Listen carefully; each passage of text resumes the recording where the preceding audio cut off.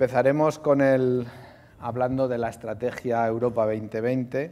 Podemos pensar porque Europa realmente lo que es un problema para España también eh, tenemos que ponerlo en el marco donde tiene solución. La solución está en Europa y la solución Europa ya la ha planteado con un modelo de desarrollo estratégico en donde basa la posibilidad de tener éxito, es decir, de poder salir de la situación actual eh, si primero actúa colectivamente. Yo creo que la presentación hoy del profesor Sargent ha sido clave en esto también, hablando de la unión como, elemento fundamental, la unión de, de, la toma de decisiones, la unión de a dónde ir, la unión de cómo ir.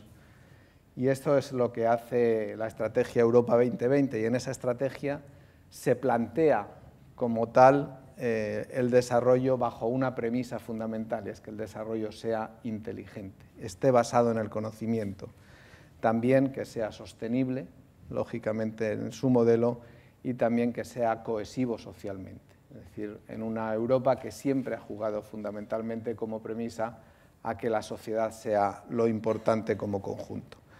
Y ello, lógicamente, sustenta la capacidad de empleabilidad y sustenta o debe sustentarse en la capacidad de, la productividad de todo el sistema como factores claves para ser competitivos. De hecho, entonces, desarrollo inteligente significa que toda la economía debe estar basada en el conocimiento y la innovación. He dicho al principio eh, que concibo el conocimiento como la materia prima de la situación actual del desarrollo de la sociedad.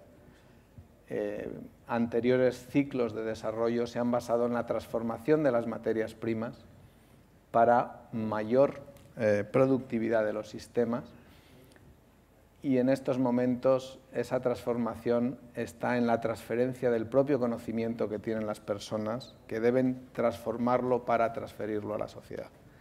De alguna manera esa es la clave en estos momentos y de ahí que eh, Europa sustente su modelo fundamentalmente en estas condiciones. Y para ello traza dos ejes fundamentales y dos condiciones fundamentales. Hay que confiar en esa situación y por lo tanto la confianza va a llevar a la inversión en todo lo que es la gestión del conocimiento.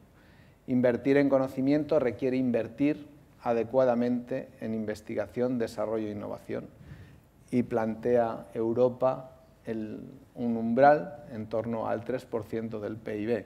Luego veremos cómo estamos con respecto a esas referencias en todos los niveles. ¿Por qué lo plantea Europa en el 3%? Porque aquellos países que están ya por delante en esta situación, en esta economía del conocimiento, lo están haciendo ya así. Y si queremos mantener un Estado competitivo, tiene que ser así.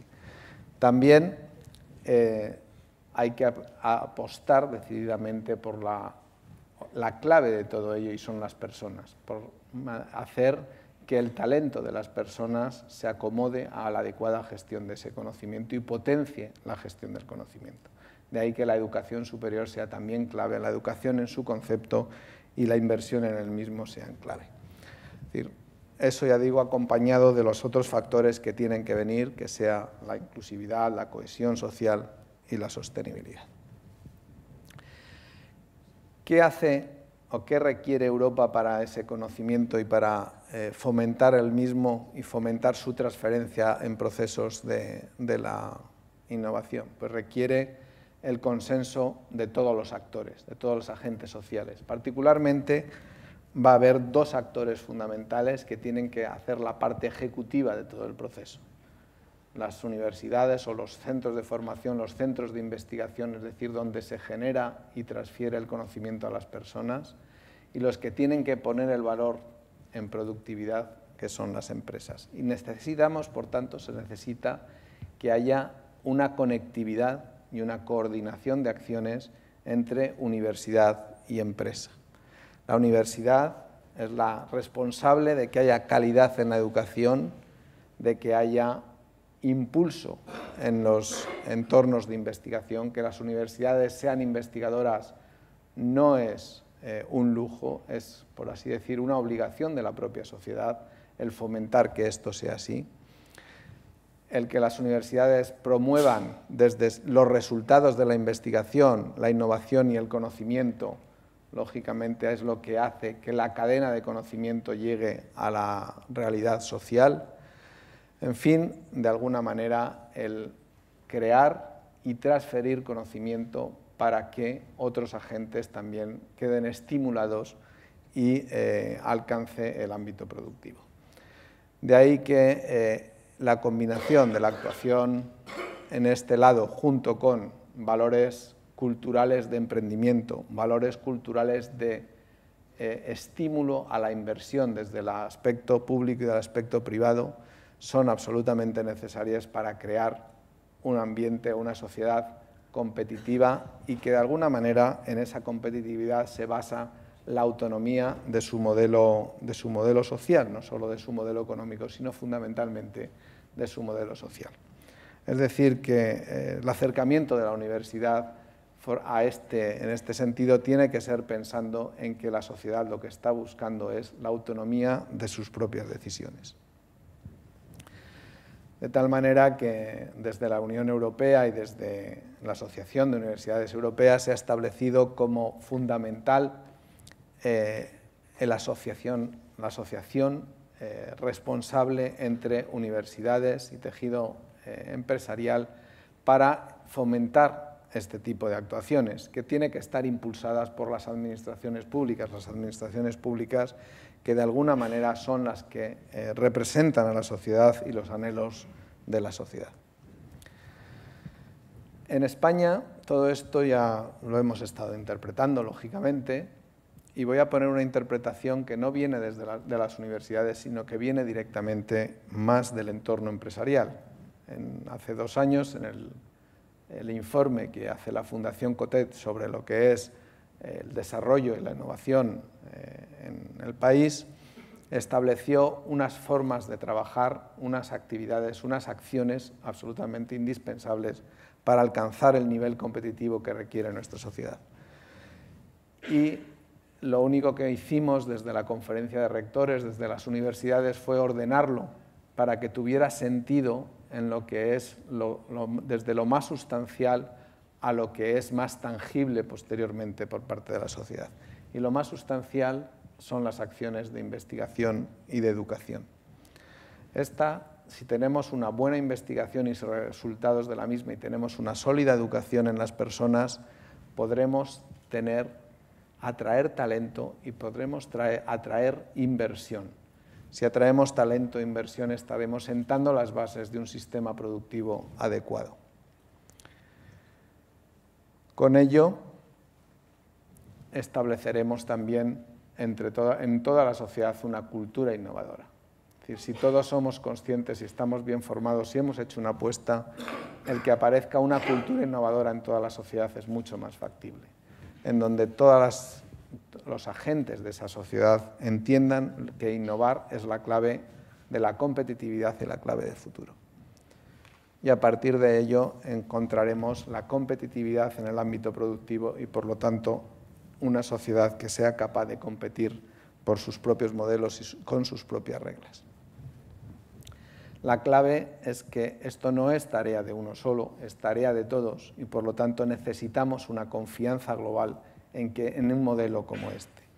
Y necesitamos, por tanto, una colaboración, una colaboración hecha desde el respeto a los otros agentes, desde el conocimiento de los otros agentes, desde un conocimiento pleno de las capacidades de cada uno y de aprovechar eh, colectivamente las capacidades de cada uno no valen descalificaciones, no valen buscar culpabilidades. Lo que vale es crear entre todos el marco adecuado para que una sociedad integral sea capaz de encontrar su camino. Y entre todos, seguro que se puede. El problema es que no lo estamos haciendo así.